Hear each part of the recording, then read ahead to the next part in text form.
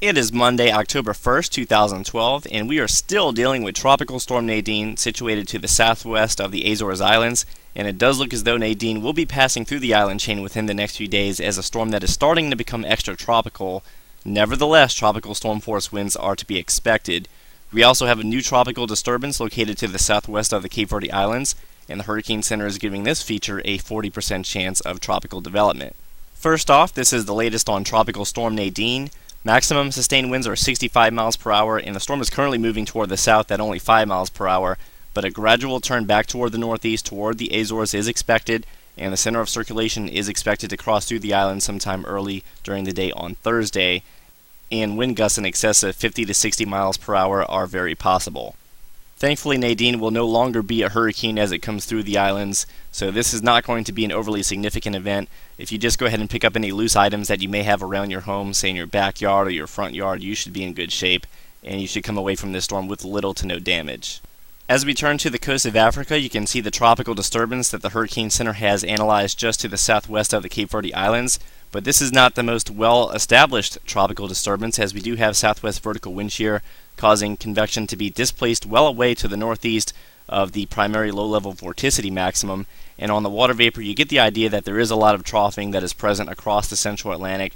So anything that does develop would probably max out as nothing more than a tropical depression or tropical storm.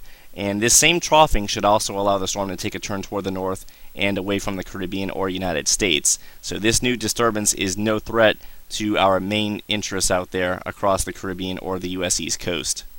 As we work our way westward, we can see that there's a cold front sweeping through the Florida panhandle, and this is helping to usher in more stable weather out across the Gulf of Mexico. And we're also going to see slightly cooler temperatures behind this cold front.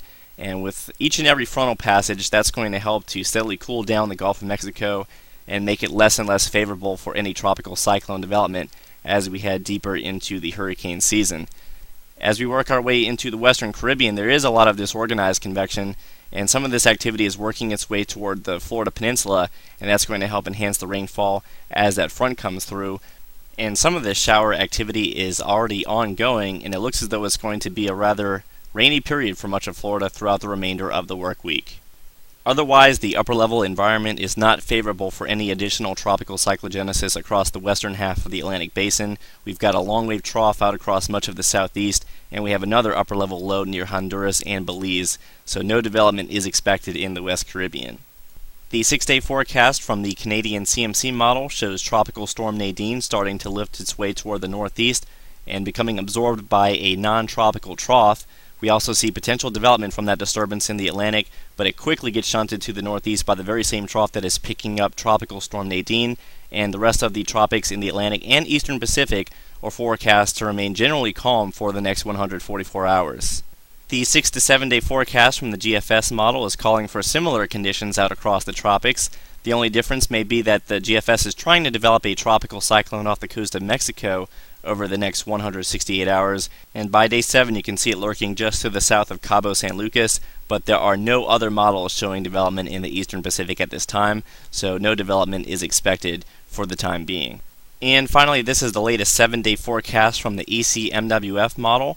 By 48 and 72 hours, we do potentially have a tropical depression forming to the west of the Cape Verde Islands but we have significant long wave troughing out across much of the central and northeast Atlantic, and as we saw with the CMC and GFS models, this trough will be strong enough to pull both Nadine and this potential storm developing to the south away from land, or at least away from the Caribbean and United States, while the remainder of the Atlantic, Caribbean, and Gulf of Mexico remain quiet throughout the remainder of the forecast period.